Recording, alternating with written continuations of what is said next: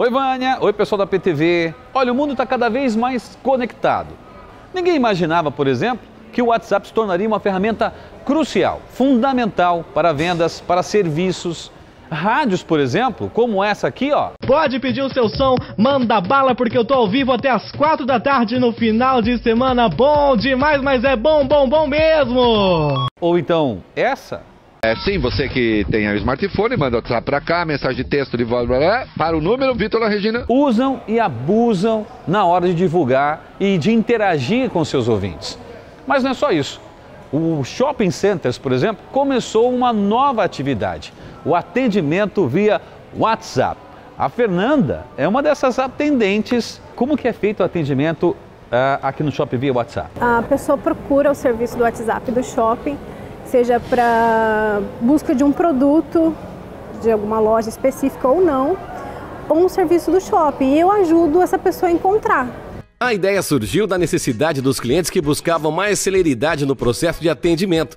E claro, estar perto, ali mesmo, nas mãos dos consumidores. A Sonai Serra Brasil, ela percebeu, ela é administradora do shopping, ela percebeu que a empresa precisava ter uma presença mais uh, firme no mundo digital. E aí surgiu a ideia, dentro de um projeto chamado Digital Experience, de colocar uh, mais um canal de atendimento.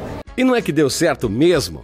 A Fernanda passa seis horas assim, ó, de olho na telinha e pernas pelos corredores. É mais um canal para a gente divulgar o lojista. Então o cliente ele entra em contato com a gente, pode pedir informações de cinema, de horário de atendimento do shopping, mas na maioria das vezes é sobre um produto da loja. Então o que, que o atendente do WhatsApp faz? O helper. O helper ele instrui o cliente se tem o produto ou não, mas ele pede para o cliente vir até o shopping para efetuar essa compra, conhecer o produto uh, fisicamente.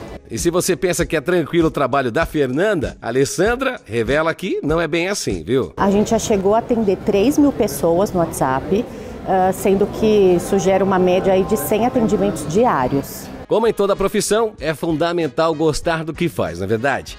Só para ter uma ideia, a Fernanda passa aí 6 horas por dia de olho na telinha e ainda mais algumas horas no celular pessoal. Depois que você largou o seu trabalho você tem paciência para o seu WhatsApp mesmo? Tenho. o Alberto Guerra é diretor dessa grande loja de eletrônicos. Para ele é um passo importante para se manter na vanguarda. Olha, eu acho que é uma iniciativa extremamente inovadora do shopping, é, que oferece um serviço, uma ferramenta, através de uma ferramenta que todo, praticamente todo brasileiro hoje usa, um serviço de qualidade que oferece rapidez é, informação instantânea, né?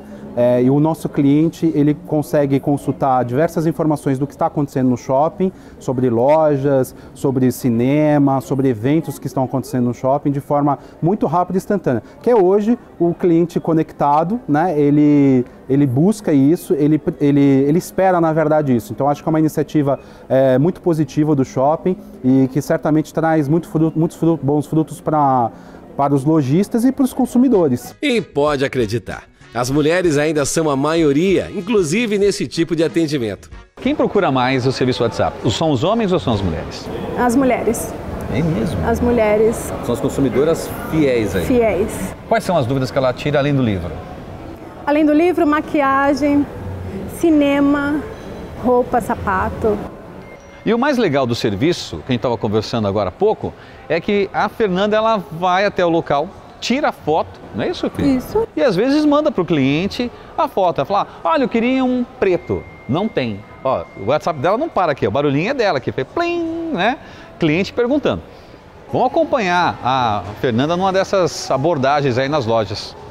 Vamos lá? O fato é que o WhatsApp é um reflexo da evolução do atendimento online, que amplia não apenas os canais, mas as possibilidades de atendimento a qualquer hora e com conveniência para o consumidor. Assim, todos ganham, não é verdade?